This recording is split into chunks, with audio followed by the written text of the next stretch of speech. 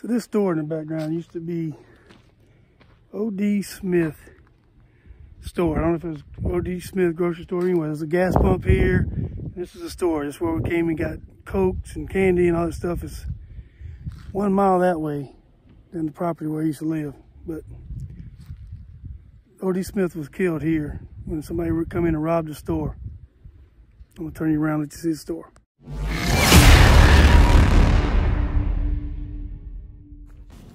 This store is in a place called Ridge Grove, Alabama. It's about nine miles from Lafayette, Alabama. It's kind of out in the middle of nowhere. And I used to live here about one mile from where this store is. I've got some property. Anytime I'm trying to explain to somebody where my property is, I just I, I bring up Obie D Smith store. Does any, you know where Obie D Smith store is? And they say, oh yeah, and I know Obie D Smith. And uh, I said, yeah, my property is one mile from that store. And everybody knows Obie D Smith. It's kind of a staple in this area and a lot of people know this store as, as well. This store's been closed a long time. Uh, after the incident, which was in 1991, I remember coming back home on leave and going out here. I think it was 1992 or 93. So on the day of the uh, the robbery, the, the guy that came in and robbed, he came in the store, shot Obie D Smith, and then continued to rob the place. And from the store, it was told, is he shot him again on the way out and killed him. And uh, I tried to find some information on it, some more information on the internet. There's not a whole lot. I think there was a trial and there was something about some jury tampering and then I think it was a retrial. But uh, I couldn't get very good information on it. But I knew Obie D Smith a little bit. I was a kid. He used to come here. And we had an old dog that we, a beagle that he kind of took a liking to. So I wound up giving him the beagle. But this is where we used to come and get gas and cokes and cookies and chips and stuff like that. But anyway, Obie D Smith here in Ridge Grove, Alabama, outside of Lafayette.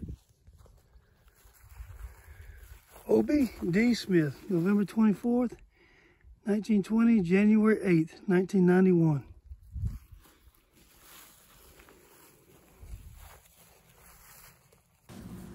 And like I said, anytime you uh, talk to anybody from this area and you bring up OBD Smith, everybody remembers him. He was kind of a staple in this area. Um, had been around here a long time, and uh, like I said, he's kind of a staple around here. Everybody knew who Obie D Smith was. So it's a tragic thing that happened out here. It's crazy that it happened out in such a rural part of Alabama. Um, I was in the army. I left for went in the army in 1989, and I was stationed in Germany when uh, I called home and they told me what happened. And this shooting took place a mile from my house. I mean, mom and them were a mile away, I think, when it happened. It's great to come out here and pay my respects to Obie D Smith. Um, we moved out here when I was probably 17 years old, and that's when I first met him. And uh, I just remember him being a nice man. And he was tickled to death to get that, uh, that beagle that I gave him. I remember him being happy about that. Rest in peace, sir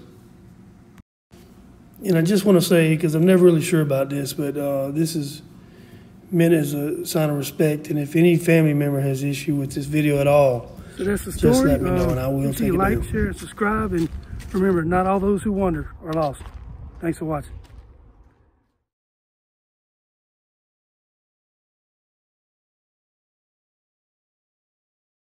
you